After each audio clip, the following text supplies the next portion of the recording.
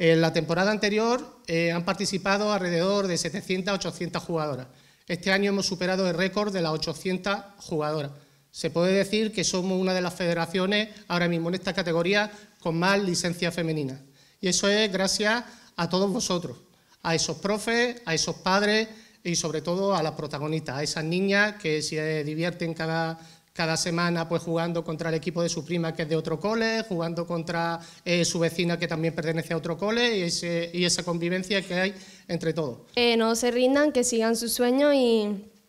y que se propongan lo que quieran.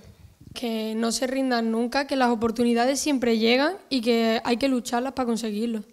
Es una iniciativa que empezamos la temporada pasada y que es un verdadero éxito. Combinar los estudios con el deporte yo creo que es fundamental y en este caso, pues bueno, eh, dentro de la educación y el deporte tienen que ir de la mano y sobre todo en estas edades, que es fundamental que puedan compaginar las dos cosas, que se pueden compaginar perfectamente. Todo lo que sea promocionar el, deporte, el deporte femenino es fundamental a través de, este tipo de acciones, como bien decía Chito, relacionadas con, la educación y con los estudios, tienen que ir de la mano siempre pues eh, la verdad que es un auténtico placer poder eh, estar aquí hoy presente y ver a tantas chicas que van a, que van a participar en esta competición. Disfrutad de esto, no olvidar a las chicas, no olvidar los estudios, que es lo principal que tenéis junto con vuestros padres y por supuesto con vuestros profesores, que es la vía, la vía fundamental para crecer y para llegar a la meta